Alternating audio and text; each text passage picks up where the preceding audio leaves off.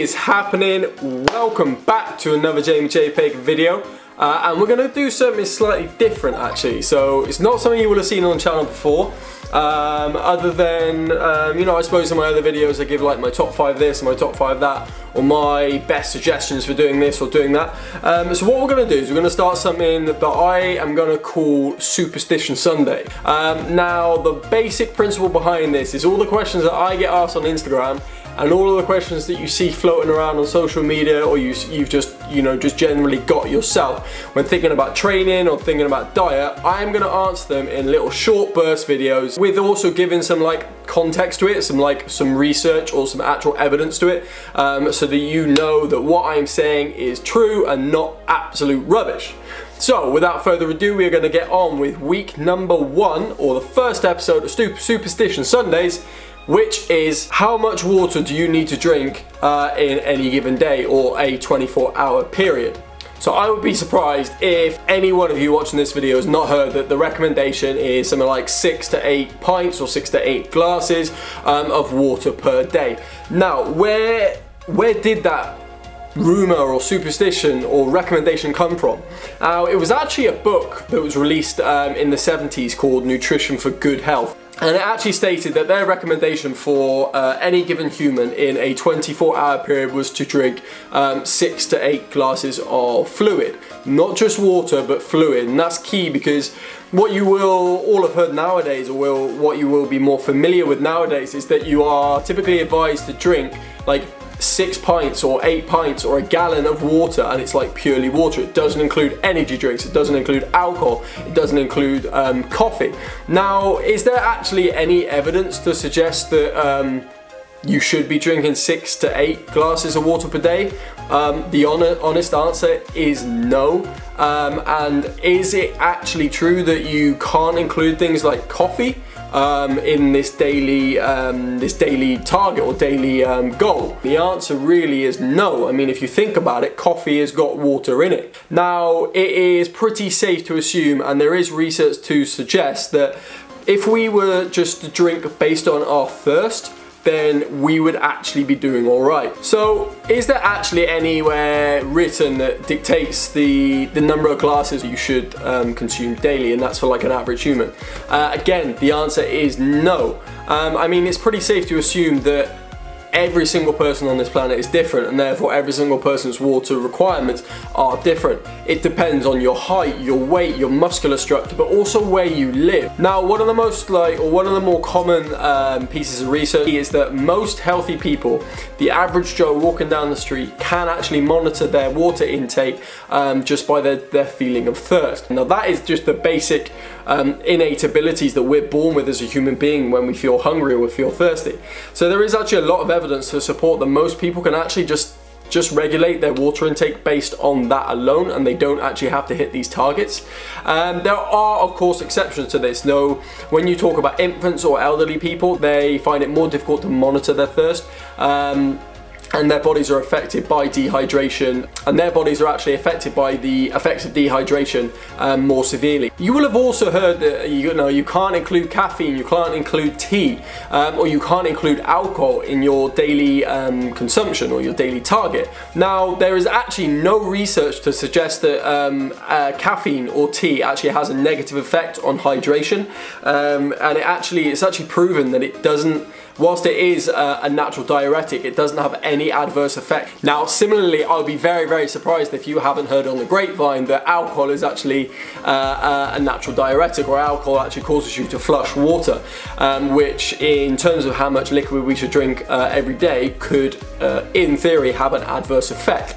But again, research has shown that oh, this only happens for the first three hours. So, you, like we used to say um, at uni, you know, it's called breaking the seal. Like you've had a couple of pints and you can't stop weeing, you can't stop going to the toilet. Now this actually only applies to the first three hours. Then when you talk about anything over six hours, so six hours, 12 hours, that sort of thing, your body actually starts to retain more water. So there's no negative effects to drinking alcohol in terms of flushing water, which uh, you would think means you would have to drink more. But again, like I've just said, there's no research to support this. Like I was saying, just to recap, as a guide, most healthy people, your average Joe, could regulate their water intake simply by drinking when they feel thirsty. Okay, so now there is one thing to take into account or one thing to mention that, um, you know, advising people to regulate their water intake based on thirst doesn't take into the account exercise. So if you're someone who goes to the gym like myself, this is going to have an effect on that. Now, research has shown that even being dehydrated like 2 to 3%, like an average gym session, your performance in the gym on average is actually affected by up to 5%. Now here's an interesting thing. Thirst is actually, uh, thirst actually has a delayed response of up to two to three hours. So if you go to the gym for an hour and a half, your body's not gonna know that it's thirsty for potentially another hour or an hour and a half, two hours even after you've been to the gym. So the recommendation that you can regulate your water intake simply by drinking when you're thirsty is slightly flawed uh, and in anyone that um, engages in like quite a lot of heavy physical exercise, e.g. the gym or marathons or you know long distance running, that sort of thing, rock climbing, um, it's probably not best advised. Okay, so what are the actual like real world practical recommendations on how much water you should consume? Prior to a gym session, you know, 20 minutes, half hour before, you should be drinking anywhere from 180 to 300 mil. If you think about it as like a small glass to an average glass in the UK, it's about that. And then during your workout, you should also be consuming around 200 mil minimum of water dependent on the intensity. Obviously, don't feel that you have to limit yourself to 200 mil uh, in the gym or up to 300 mil before the gym. I know that personally in the gym I drink anywhere from 500 mil to a litre depending on how hard or how long my workouts are.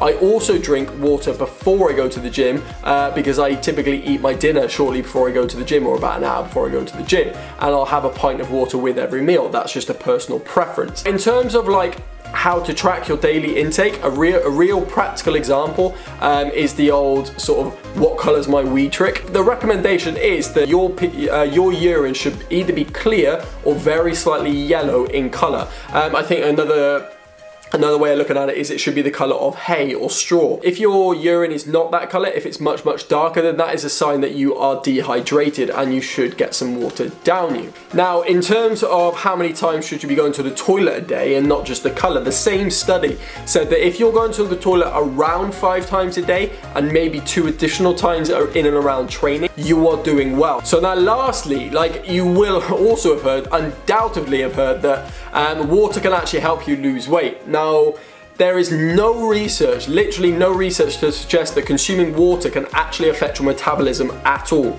What water can do is keep you fuller for long, which means you're less likely to consume food and therefore less likely to uh, take calories on. If you're also drinking water instead of fizzy drinks, you know, energy drinks, uh, milkshakes, that sort of thing, you're also likely to reduce your overall calorie intake simply by deduction. So on a simple term, water is only proven to help with weight loss uh, in the sense that it replaces other things. Uh, it replaces um, drinks higher in calories, but it also replaces, you know, essentially volume in your stomach, which which keeps you fuller for longer. So with all that said, what would the recommendations be backed by science. So my recommendation would be that you can regulate your water intake simply by using thirst.